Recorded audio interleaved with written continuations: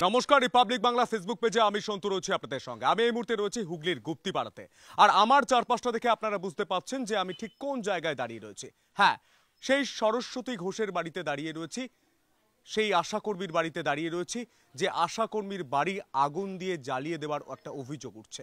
এই মুহূর্তে দেখানোর চেষ্টা করব, কুইন্টলের পর কুইন্টাল পাট নষ্ট হয়ে গিয়েছে, কয়েক লক্ষ টাকার পাট নষ্ট হয়ে গিয়েছে। এই পাট এই বাড়ির ঠিক নিচের তলায় ছিল এবং উপরের তলায় তার পুরো পরিবার ছিল এবং মূলত যেটা অভিযোগ, তারা যেটা মনে করছেন যে প্রধানমন্ত্রী আবাস যোজনার যে ভেরিফিকেশন সার্ভে সেই সার্ভে করার জন্যই তার এই পরিণতি। ইতিমধ্যেই এই বাড়িতে এসেছেন স্থানীয় বিধায়ক মনোরঞ্জন ব্যাপারী। তিনি আসার পর তার সামনেই ক্ষোভ বিক্ষোভ দেখাতে থাকেন স্থানীয়রা এবং আশাকর্মী তিনি বলেন যে এই ঘটনার জন্যই এত বড় ঘটনা ঘটেছে এবং সেই জায়গায় দাঁড়িয়ে এই মুহূর্তে দেখানোর চেষ্টা করব। রিপাবলিক বাংলা ফেসবুক পেজে আপনারা এই মুহূর্তে দেখতে পাচ্ছেন, আমরা রিপাবলিক বাংলায় একাধিকবার দেখিয়েছি লাইভে ঠিক এভাবেই পাটকাটি পাট নষ্ট হয়ে পড়ে রয়েছে এবং যারা করেছে, তাদের শাস্তির দাবি করছে পরিবার। তারা বলছেন, সহায় সম্বলহীন পরিবার বলছেন যে, এটাই একমাত্র মূলধন ছিল বাড়িতে, যেটা নষ্ট হয়ে গেল। যেটা পুড়িয়ে দেওয়া হলো।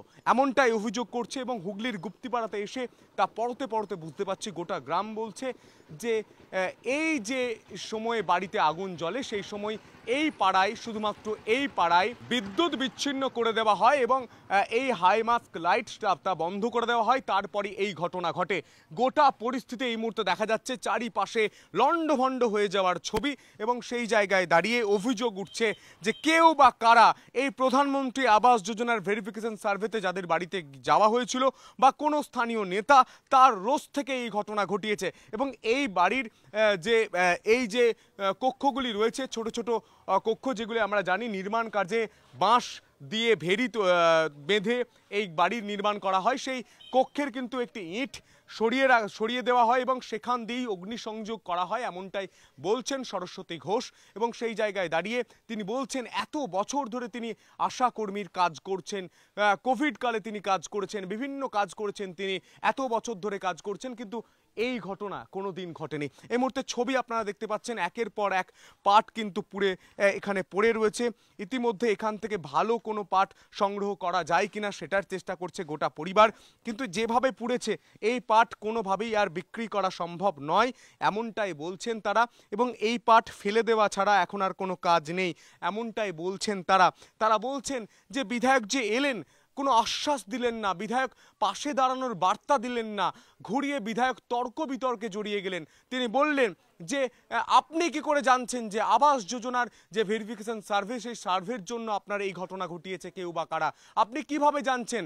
পুলিশ তদন্ত করবে সব কিছু বেরোবে, কিন্তু অভিযোগ, সেই অভিযোগ শোনার পর বিধায়কের এই যে প্রতিক্রিয়া, তা দেখে কিন্তু রীতিমতো সরস্বতী ঘোষ বলছেন, তিনি দুঃখিত, তিনি দুঃখ প্রকাশ করছেন, তিনি বলছেন, বিধায়কের এহেন আচরণ, এটা বিধায়ক, আমরা ভোট দিয়ে একজন নির্বাচিত হয়েছেন, তিনি এবং এই জায়গায় দাঁড়িয়ে, ঠিক এই জায়গায় দাঁড়িয়ে একজন প্রতিবেশীর সঙ্গে মনোরঞ্জন ব্যাপারী তিনি তর্ক বিতর্কে জড়িয়ে পড়েন। তিনি বলেন, মনোরঞ্জন ব্যাপারী বলেন, আপনিই তাহলে সব কিছু জানেন, আপনি যদি যদি বলছেন যে প্রধানমন্ত্রী আবাস যোজনার জন্য ভেরিফিকেশন সার্ভের জন্য এই ঘটনা ঘটেছে, তাহলে আপনাকে অ্যারেস্ট করা আগে উচিত, পুলিশকে বলব আপনাকে গ্রেপ্তার করতে। এই কথা বলার পর প্রতিবেশীরা আরও তাদের ক্ষোভ বিক্ষোভ বাড়তে থাকে এবং তারা বলেন যে, আপনি এটা কি বলছেন? তারপর তর্ক বিতর্ক হতে হতে মনোরঞ্জন ব্যাপারী বেরিয়ে যায়। কিন্তু এই পরিবারের পাশে কারা দাঁড়াবে? এই পরিবার আজ সহায় সম্বলহীন পরিবার।